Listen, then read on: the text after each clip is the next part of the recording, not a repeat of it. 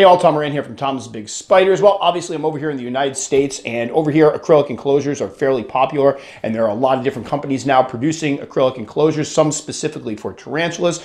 And I like to post videos of some of the ones I've picked up and tried so people know what's out there. Well, every time I post one of these videos up, I get some folks from overseas that mention the fact that they don't have a lot over there as far as acrylic enclosures. And when they go to order from the United States, the shipping is kind of cost prohibitive. Well, now we have an entry in the market over there. My buddy buddy Reinhold and his partner Michael formed Arachnosys, which is a company built by hobbyists. Reinhold I've been talking to for a couple years now through the Tom's Big Spiders stuff, and he's been a hobbyist for a while. And they came up with an idea for enclosures that they are now selling overseas. So now folks overseas have another alternative if they want to check out some of these acrylic enclosures that we often get in the States.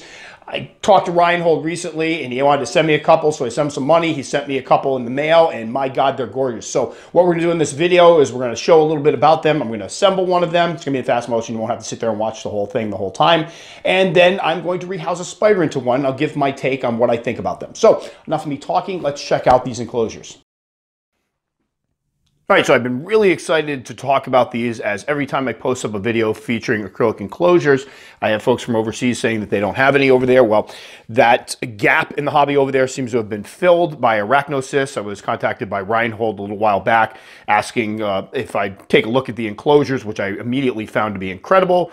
We worked it out. I picked up a couple. So this is the first one here. I'm, it's not really going to be an unboxing. I already opened up the box because the, the main box that they came in was so beat up, probably from the U.S. Post Office, that I wanted to make sure these were okay. So I opened the main box out, found the white boxes inside, and then I was going to wait to actually open them up on video, but I couldn't wait because I was too excited to open them up. So I kind of popped this one open ahead of time. But anyway, if we look over here, one of the things came with was a water bottle to fill up the enclosure, which is really cool. I've used use these for football, as a matter of fact, for drinking, and thought that was really cool.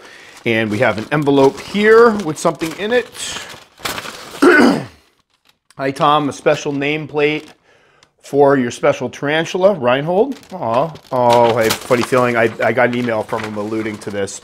Aw, so he made a plaque for the Grammostola uh, porteri, who is the queen, who is the one that I had for 25 years that unfortunately passed away a week ago. So uh, she's no longer with us, but this is still amazing. It could be a little commemorative plaque for her and Spider with Arachnosys. So thank you so much, Reinhold. That was incredibly kind of you. And unfortunately, the timing being as it was, she passed away while this was in transit. I would have loved to have put that on her enclosure for her last few days. All right, so we're going to try to open this box up and see what we have inside. I cheated already. I already looked. But as you can see, they come disassembled, which is great for shipping. One of the big issues with buying the acrylic enclosures, at least in the US, I know apparently shipping overseas is a little bit different, a little bit cheaper to ship around, but in the US from state to state, it can be incredibly expensive shipping larger items. And a lot of times you'll find an acrylic enclosure that runs you say 50 bucks, but by the time you factor shipping in, you're up to around 70 or 80. So a lot of folks are starting to make the ones that I believe it's, it's ZooMed. I will put comments in here or notes, but I think it's ZooMed or one of the other big pet companies that started to make ones that you assemble, and a lot of people have been putting those together. So it's kind of a popular way of getting around that because you can ship these flat, which is easier and safer for shipping, and you can save some money. So here are the instruction books. Now, I am a geek when it comes to putting together puzzles and stuff. I was a huge Lego kid. I used to put all my G.I. Joe vehicles together when I was really young, and I enjoy 3D puzzles now. Yes, I'm a mega geek, so I'm gonna enjoy putting this together. And what we'll do is set up a camera and kind of fast motion it to see how well it goes together. But the directions look incredibly simple. They're in both German and English, which is good because my German is not particularly great.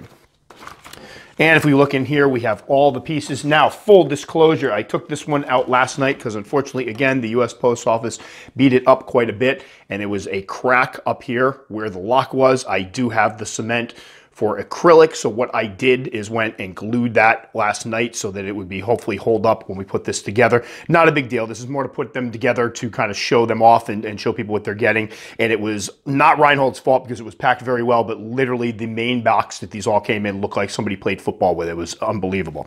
So what we will do, we'll take a look here. Oh, one of the cool things here is one of the microfiber, I think it's called microfiber cloths, real soft cloths for cleaning these off. This is gonna be awesome because I have a lot of acrylic enclosures. And if you have acrylic enclosures, one of the the downsides of them is that they can scratch easily if you have dirt and stuff on. These work great for cleaning them off without leaving any scratches. So lots of pieces. Can't wait to put this one together. Unfortunately, I, I, just started this video and I have a plumber showing up in a minute, so I'm gonna have to go work with the plumber for a bit. But when we come back, we'll set up the camera and we'll record the assembly of these. And then, you know, we might even go ahead and put a spider in it. But I bought two of them. We have the the arboreal one here that is quite large. I'm impressed with this and I'm trying to figure out what I want to put in it now. And then we have another one I'll show in a minute that is this cool terrestrial one that kind of has a sloped front, so it gives you added visibility. So in a moment, we'll show off this one. I will go ahead and assemble the other one off camera because we won't want the whole thing just me assembling things, swearing at it, and gesticulating wildly at them. And we'll put them up here and show what they look like.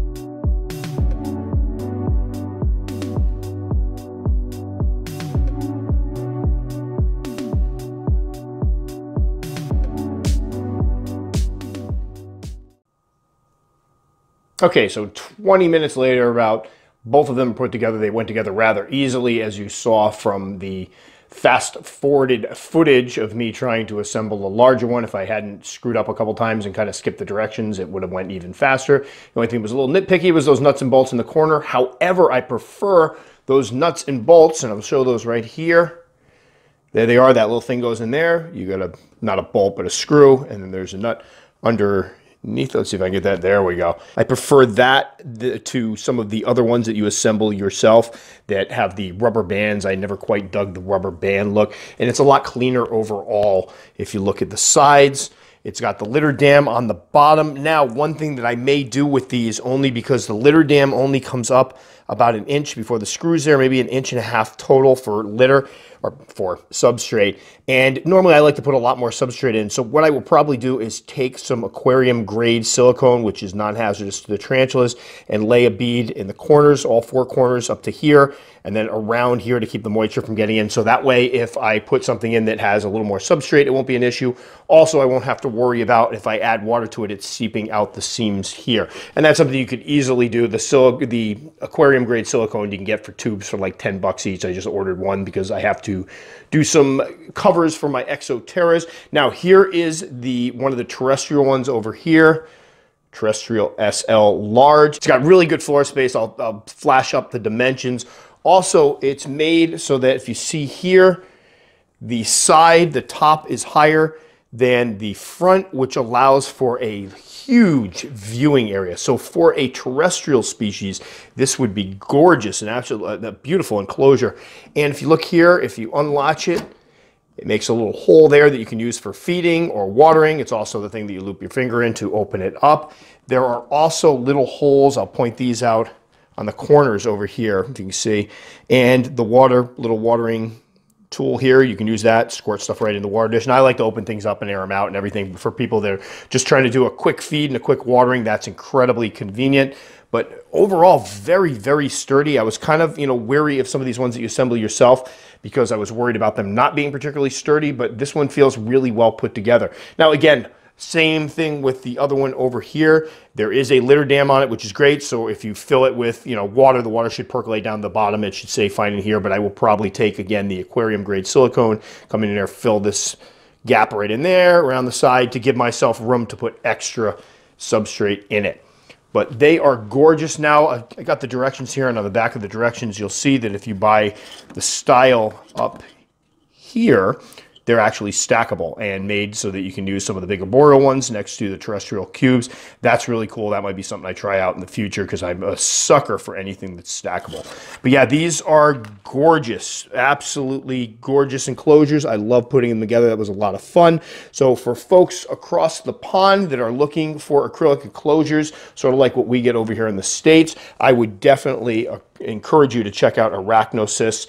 I will have their website information in the description for this so people can check it out. I might even run some footage of their website on the outro part of this video, but I would definitely encourage people to check them out. Now, again, for folks who are going to come forward and go, those are too expensive for me, I would never spend that kind of money for it. Completely understand. I'm not telling you to. It seems like people get offended when you put nice stuff up and they get mad that it costs more than they want to spend, which I, again, I get not wanting to spend a lot of money for ones. As you can see in the background, I have plenty of Sterilite containers that I still use, so I get it. But coming on to just say those are a total waste of money, for you perhaps they are, for some of us they aren't. So just want to put that one in there because somebody's going to come on and say it, so this way I can just kind of clip to right where the uh, point is in this video where I respond and we can move on our merry way. But there they go. Oh, one more thing that I probably should mention. The ventilation in these is incredible. Lot of ventilation, the size. Now if I put substrate up to there, that's all well ventilated. And for the arboreal one here, we not only have ventilation up top, and I'm guilty of this sometimes, we forget to put some ventilation down the bottom so you get some real good circulation of air. Awesome, awesome enclosures. Very cool. Definitely wish they were over here because obviously it'd be a lot cheaper. There we go, the Arachnosys acrylic enclosures. Very cool, guys. Thanks so much. These are awesome. All right, so now that we have it all put together, it's time to put somebody in it, and it's been a, another two weeks. This has been sitting here. I set it up last weekend and went around trying to figure out who I wanted to put in it because it's kind of a special looking enclosure. It's going to have a special spot in my collection because I want it proudly displayed. So what we came up with is I'm going to put my G Grammostola pulchripes in it. This one's hopefully a female. It's the brother of the one my brother Andrew has the male of. We have a mature male that's hopefully going to make little G pulchripes babies. One of my favorite species of all time. I absolutely love pulchripes. So I figured this would be a great one to put in there. I'm not going to do husbandry tips on these because I did a whole husbandry video on them. Maybe I'll use one of those little cards up in the corner for people that want to know the husbandry for them. But what we're going to do is get this girl into this new enclosure up here. Now what we have is the old cork bark hide, which I doubt she'll even use. I glued some little thingies to it. Well, I don't know, fake plants. We have some green moss, just because I like the color of it. We have some New Zealand moss. We have leaf litter. And the substrate here is a mixture of cocoa fiber and peat that I mixed up. So unfortunately, I ran out of my BioDude stuff for a little while. And of course, we have the old water dish.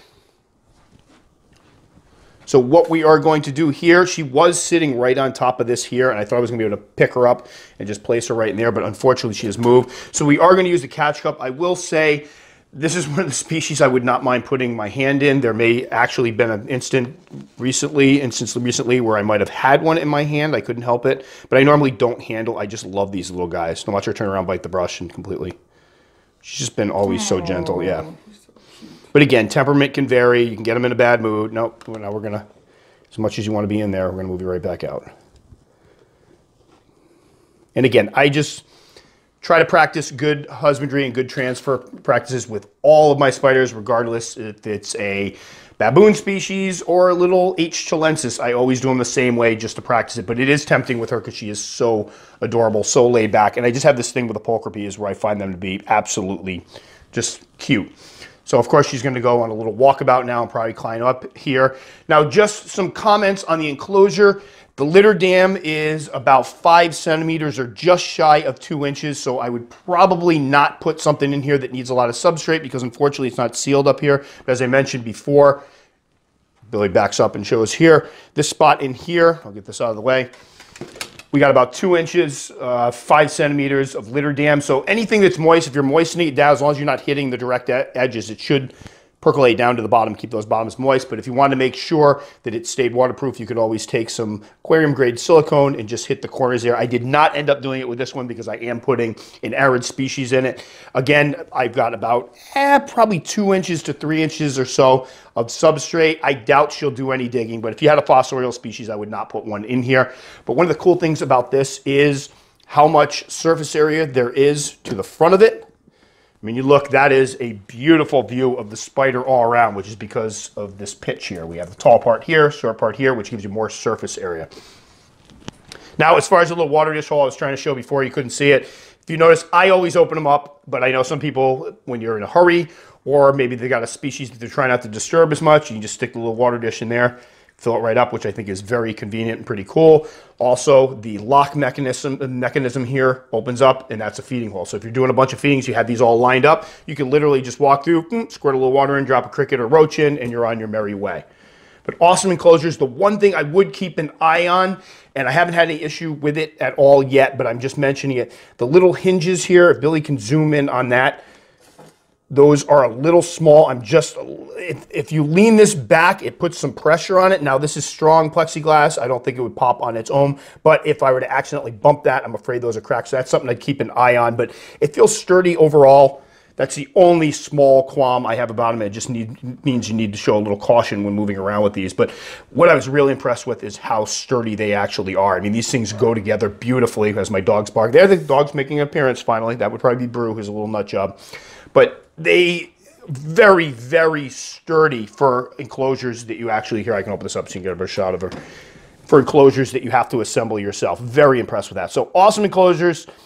So definitely if you're overseas, feel free to check these out if you're looking for something nicer and you want to get some of those acrylic enclosures like we have over in the US. These are definitely something I would take a peek at. So unfortunately, because of the cost of shipping, it's really not practical for them to ship to the United States right now. It would cost you more for shipping than probably would the enclosures. As a matter of fact, I sent some money to have them sent over here, and I realized after the fact that I probably didn't even send enough to fully cover the shipping, which makes me feel terrible about it. So they are looking into finding a distributor. I hope they find one for the United States because I think hobbyists over here would find a lot to love about these enclosures. For folks over in Europe and even the UK, they do ship there, so definitely check them out if you're over there looking for acrylic enclosures. Now, for folks who are used to using glass, glass. I'm not going to try to dissuade you to stop using glass. I know there's an argument and some been some discussion why would you use acrylic because acrylic, some of the downsides of it is it can scratch rather easily and it can warp if it gets wet. I've had some issues, not terrible issues, but some issues with my acrylics warping. However, those of us like them for the lower weight. I mean, I, I think it's nice that they're a little lighter than some of the glass enclosures, and there's a little more you can do with them aesthetically because the acrylic can be drilled and manipulated in ways that glass can't. But to each their own. I'm not trying to tell people you should buy acrylics because I think some people get offended, like, well, why wouldn't you just use glass? We just don't have as much glass stuff available available in the United States as apparently you do overseas.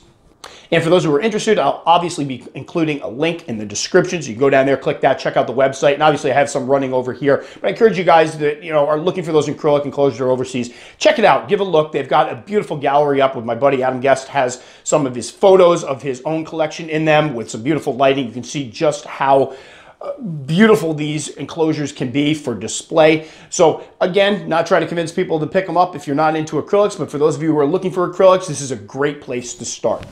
All right, so that will do it for this one. As always, if you liked it enough to subscribe, very much appreciate. You click the little circle up there. If you want to check out some more videos, see what I'm about, you can find them over here. Love getting comments. Feel free to comment. If you comment, I will respond. Just know it might take me a little while because I tend to get a few comments. That'll do it for this one. Guys, stay safe. We'll catch you all next time.